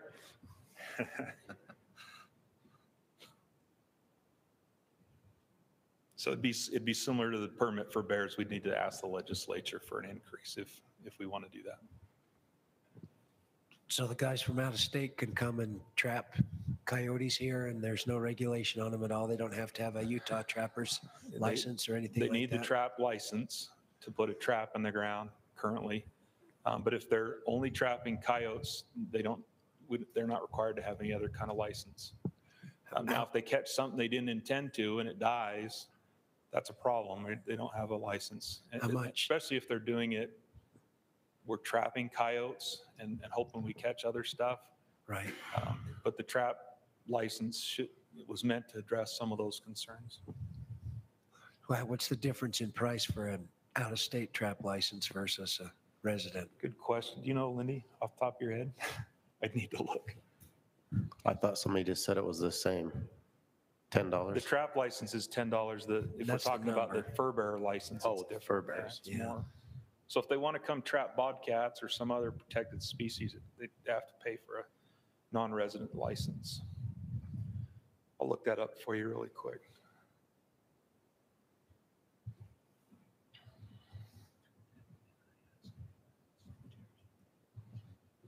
I'm getting old enough, I can't remember all this stuff off the top of my head anymore.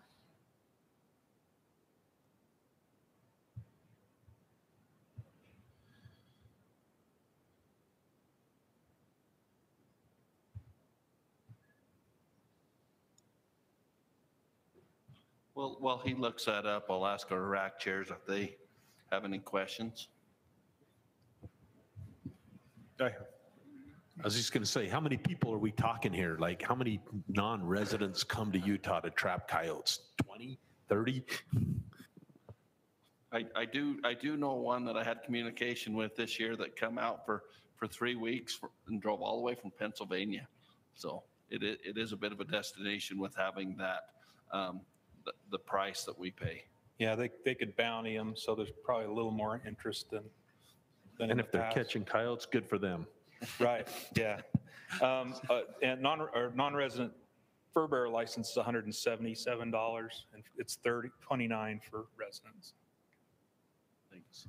I had a similar question to Brock, but I had one other question, kind of comment, but I- I- this is a serious question. Have we ever discussed restricting the take of coyotes?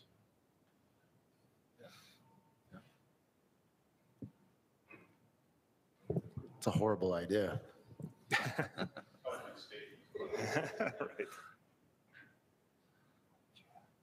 All right, we'll ask the director to um, summarize our electronic. Thank you, Mr. Chair. On agenda item seven, 2023 Fur Bear and Bobcat season dates, we didn't receive any online comment. Thank you. We'll go to RAC chairs reports. Start with Braden. Yeah, in the Southern RAC, we had a motion to uh, accept as presented, and that passed unanimously.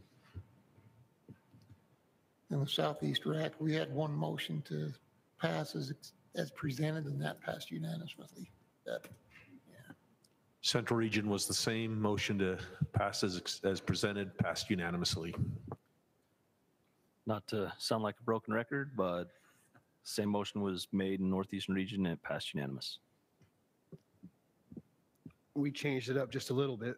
So we had to recommend um, to, to accept as presented, but in addition, looking into adding a non-resident uh, license to trap in Utah.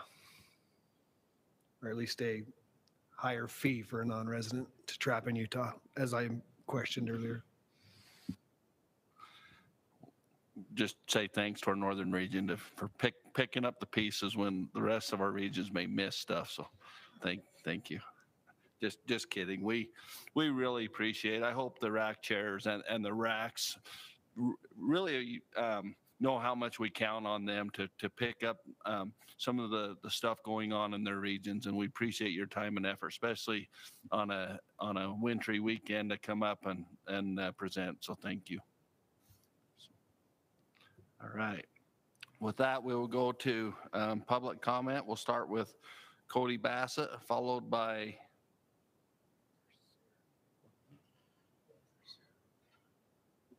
Walker Set. Walter? Okay, thank you.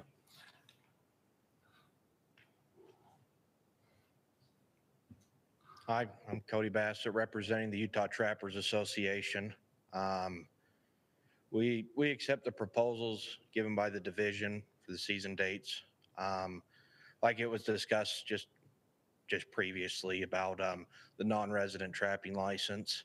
It's a major concern that we're seeing, and it, it gets worse, especially when prices increase. Um, You know, it, it's something that we would like to see happen because we get calls and complaints all the time about non-residents coming in, the fairness issue. Um, We looked at the idea of the fur bearer just as there's already a system in place. Um, I don't, obviously with the language and the regulation that, we just looked at more of the fur bearer. You already have the course. When non-residents come into this state, they're at least educated on our trapping laws. Whereas you go to other states, it's completely different, especially when it comes to baiting and stuff like that. Um, so we looked at the fur bearer to kind of be that, I guess, that kind of guide stone for them. Kind of, there's already a system in place. It's just, we're hoping to see the language change a little to make it required that they're taking the fur bear course, getting a fur bear license. Um, the one problem we see is if you just do on the trap tag number and just do a one-time fee, it's still a one-time fee, and then you're still going to have continual problems with education on on non-residents coming into the state because they just have to pay the one-time fee. So that's one concern we see. But if it has to be about the trap itself, having a license that they have to renew every year, um, and so be it. Um, we just want to have the residents of the state be put at the top priority, especially trappers in this state harvesting Utah animals um, or fur bears. Um, because when you go to other states, like for instance, to go up north, you're looking at three, four hundred dollars just to trap a muskrat, where they'll come down and they can just trap them for free practically. And so we would like to see this non-resident trapping license take effect, or at least a way to implement it so that way we're putting the residents of Utah first and also protecting the wildlife that is in Utah. Thank you.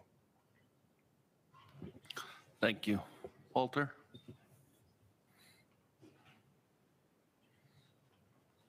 Hi, my name is Walter Zarek. Sorry. I'm, I'm representing the public today. Uh, I support the division's recommendations.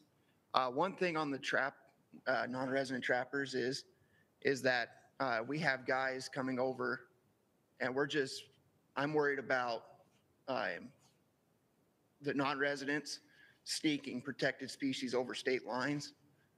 Uh, So that's what I've heard. I, But all in all, I just represent, I mean, I support everything that's been said. Thank you.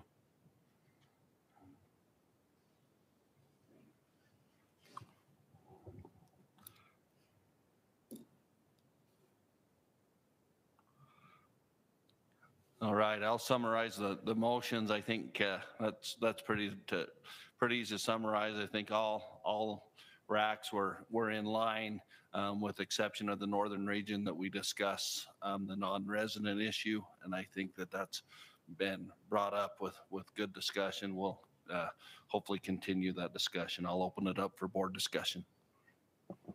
So I'm, I'm confused. We have a non-resident fur bearer license that's more than ours, than a resident.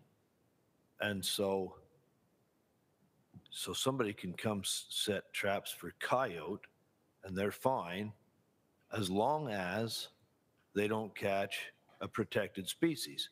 And then they're not fine. And so that turns into just a law enforcement thing, right?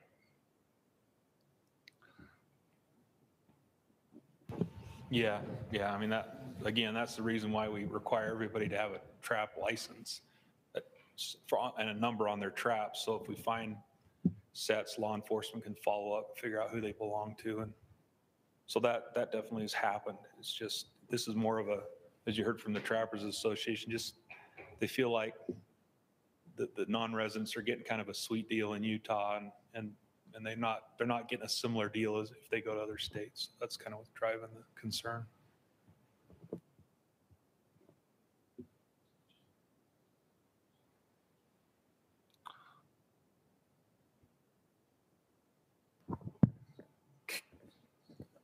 Um, you think it's something that we could do, like a action log item later that we look, have the division look at this and bring it back to us and say, really, I mean, how many people are doing this? You know, how many really out-of-staters are there? Like Randy said, or Brock said, I mean, is there, are we talking 20 people, 30 people?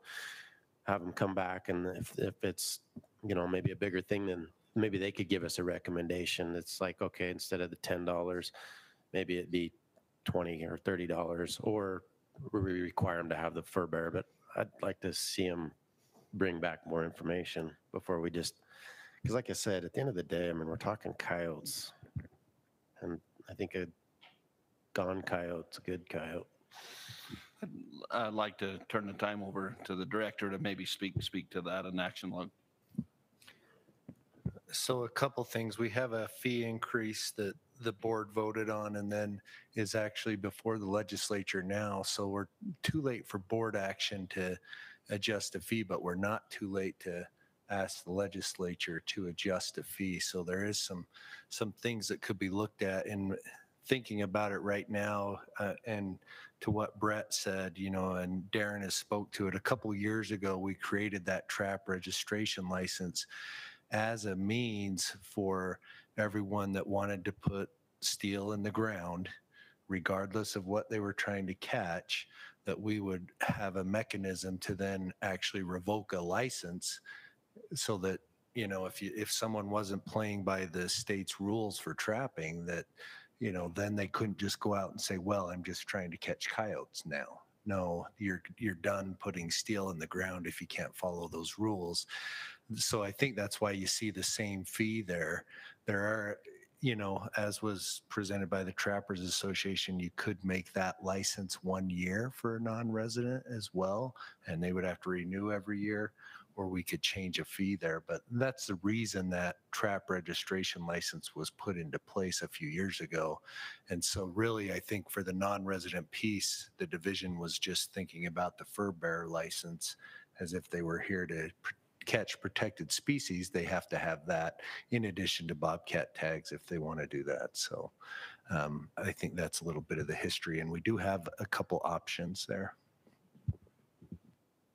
But timing wise, I mean, changing that, that tag registration to make it just one year for non-residents and, I mean, you could probably at the legislature ask for an increase in the cost right now, but changing that can't happen right now. Yeah, timing wise, I think our option right now would be to ask the legislature to increase that non-resident fee for a trap registration license. And just, just as part of discussion, I mean, I, I, we all want people trapping coyotes, but, but the impression that every other state is increasing, when I apply as a non-resident, they're, they're, they're double and triple and everything. And so I think there needs to be a small increase, maybe not a large increase, but I still think we want to encourage people to come and trap our coyotes, but the impression that that, that non-residents should be charged more, I think is right on point. I think we should.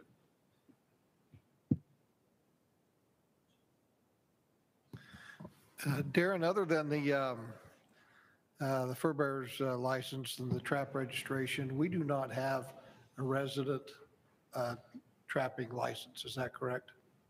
We don't require. For fur bearers, but yeah, if, if We a the resident fur- is trapping coyotes, You got then the they fur only bearer need. permit, you got the Right. fur bearer course you have to take, you have, you have the registration, register your, your uh, trap number. Correct. Put on your trap, but we don't, we don't have a, a resident trap license. For coyotes, For, right. for anything. We, we do for protected species. So if they're trapping bobcats, they do need to have a fur bearer license. A fur bearer license, right, but Right, there in is a addition- non, non-resident fur bearer license already in place, right? Right, yeah. So the rules are the same for both. It's, it's really just a fee discussion, you know, should we charge non-residents more or Thank not? you.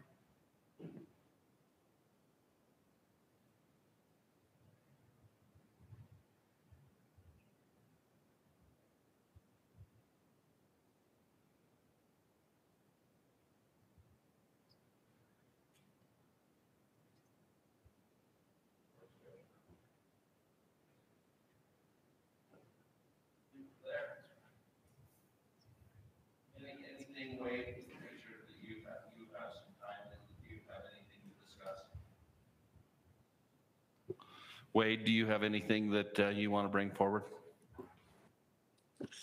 No, I, I don't think so. I, I agree with Bryce. I, I think if we're going to, if we're going to make some uh, changes on this, I, I think we'll probably ought to review it just a little bit more. I'm good the way it's presented though.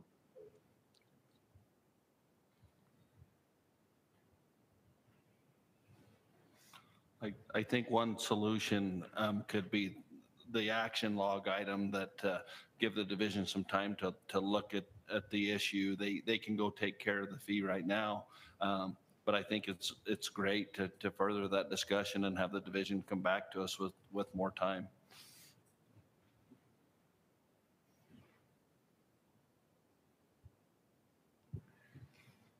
And I personally want to see a fee increase, but I don't know what that is.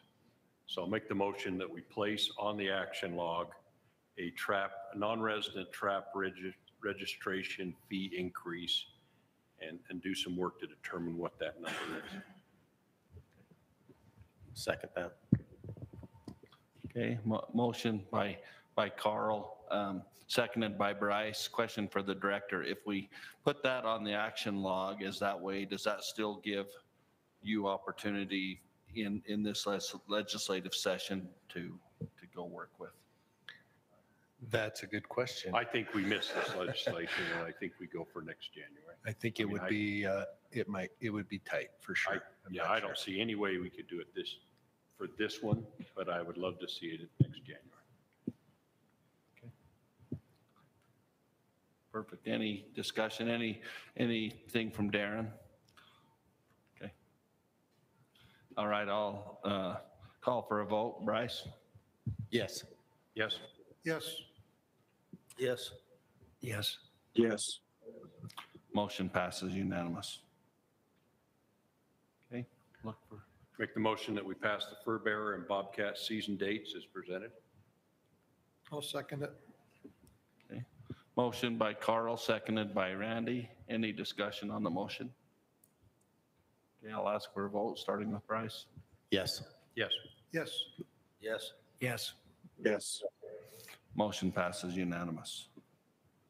All right, with that, we will go to agenda item number eight, uh, Cougar update by Darren. So this was informational, but I did want to make one point of clarification that came out of our guidebook discussions. Um, For cougar units that are limited entry and then change to harvest objective, um, traditionally, we, we've had a, a little bit of a gap between the end of the limited entry season and the beginning of the harvest objective season to allow us to consolidate our information, get paperwork in, just to make sure when we tell them how many permits are left, that we've got the right number.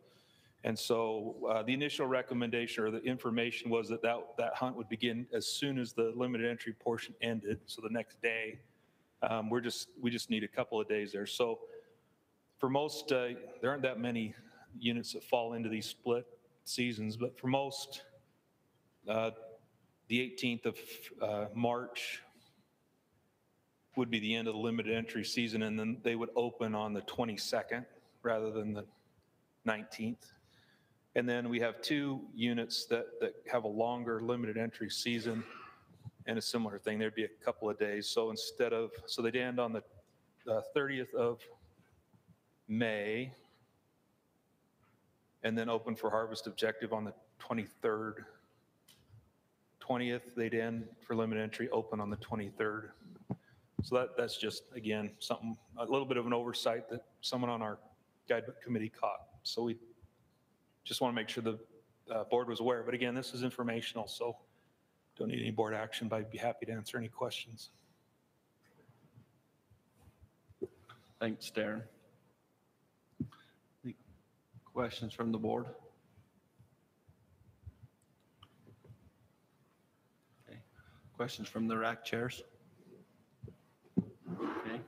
Um, We have one comment card from the public and um, would, would like, invite any of the other public that want to speak on it, they can bring up a card. Sierra?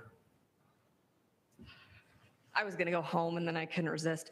Um, I just want to bring up again that we have too many lions. We have too many lions. We're seeing problems with them everywhere, places we didn't even think we'd see problems with them, cough, bighorn sheep cough. We've got too many lions.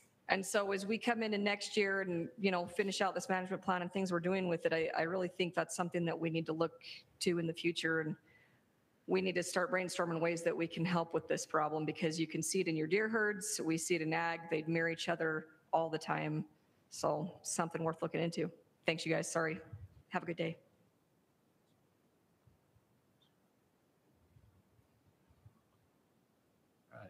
With that, um, we will uh, bring it back to board for discussion.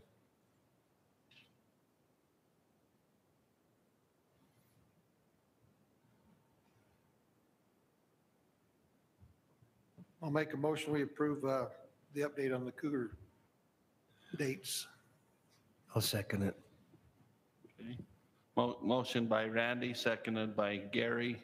Um, I'll ask for a motion, starting with Bryce. Yes. Yes. Yes. Yes. Yes. Yes. Motion passes unanimous. Um, We have lunch ready at uh, 11:30. We'd like to invite all those that are in attendance to know that uh, you're, you're welcome to stay. Um, One thing that I'd like to, to mention is this, this week, starting on Thursday, we have WAFWA, the Western Association of Wildlife Managers, where um, all of the western states meet with their directors and um, commissioners. Um, we're, we're the only wildlife board. The others are commissioners, but they meet and discuss all of the topics around the West, and they meet every six months. This meeting will be in New Mexico, but I just wanted to speak to the importance of that. Um, before sitting on the board, I had no idea about those meetings. There's both um, the WAFWA, which is the western states, and there's AFWA, which is all, all states that participate in that. And the division is, does a very good job of being very involved in that. There's a lot of work that goes on. Uh, I would say um, there, there is probably more opportunity and work to be able to work through the, those associations because a lot of those states have already faced the issues that we may be discussing and there's there's lessons learned and and there's things happening on our borders that if we have those relationship with those states we can reach out to that director or that board member and say hey did you think about when you made this restriction how it may affect us? And so um, i would just make the plug that uh, if you haven't been involved in WAFWA and, and AFWA to, to get involved in those um, and hopefully here in a, um, at our next board meeting we will be we will bring back um, some some of that information anything from the director Thanks, Mr. Chair, for bringing that up. I just, to add a little bit to that, attending these meetings is not something new for me, but it obviously is in the director's seat. And there's a lot of decisions that are made uh, landscape level that is affecting all of the West that we're able to work through together as directors. And many of our employees are on these committees or chair these committees of different aspects that are happening across our country with wildlife issues. And we are heavily involved with both WAFWA and AFWA, and we we get some great benefits from doing so. So, uh, yeah, it takes uh, some time from our employees who also, I think, learn and grow a lot through those processes. So, it's a great thing to support. The other thing I would mention, since this is just such a short, sweet meeting, is that the Wildlife Board application is open for slots, and I think the deadline to apply is, I'm going to say March 31st. No bonus points needed for that. So, is that right, Stacy? March 31st. And, and I'd just like to add a, a plug for that. Um, I, I would, I would share that, uh, um, it, it's, it's a great opportunity. If you feel like you have too many friends, um, the wildlife, the wildlife board is a great place to solve that problem. Um, but, but I just take, it- make a plug that, um, there, we have some, um, great opportunity to, to make great headway in the state and, and, uh, I, I am very grateful for the opportunity that I've had to learn the, the process. And so, man, if you, if you've th- been thinking about that, make sure you get your, your application in. I, I would put a plug in that how important it is to, to step outside of your personal, um, issue and be able to look at a landscape scale and be able to look at all the input from all of the RACs and be able to vote what's best for the resource, I, I feel is, is, if you feel like you can do that, you would be a great applicant. So, Stacy? Can I just add a couple of clarifications to that so I'm not getting a ton of applications from people who can't apply? Um, for this year, we're recruiting for two open seats. One, of course, is Kevin's and one is Karl's. Kevin's position must be filled by someone who resides in the southeastern region, so that one will be region specific. Karl's can be filled by any region that doesn't currently have two representatives. So in this case, if you do the math real quick, those of you who live in the northern region are not able to apply. So you'll need to sit this out for two more years. Um, the application is found at boards.utah.gov. It's not on our division website. It did open Sunday. Um, you do have to create a log on to go in and put your application in, so don't let that intimidate you. And if anybody needs any help, I'm happy to help them with that. Um, you can go in and edit and add to your application. That's new this time. So if you want to go in and take a look at it now and then go back and put your serious application in, it will allow you to do that. So um, any letters of um, support also need to be submitted with the application. So you'll want to gather those then. And again, if you have any troubles with it, you can reach out and I can help you do that. Our RAC recruitment, just so that we don't confuse it, will not open until April. So the board application is January through February, and then open RAC seats, we'll take applications through that in April, and that will be through the division's website. Thank you. Any questions on that? Okay. Any other business? I think Chad hasn't talked to this meeting and he's felt a little left out because he got so much airtime the last few. I I thought we'd maybe give him some. All right. Um, again, I'll just mention that uh, if you want to want to stay for one lunch, you're you're welcome to with that uh, meeting adjourned.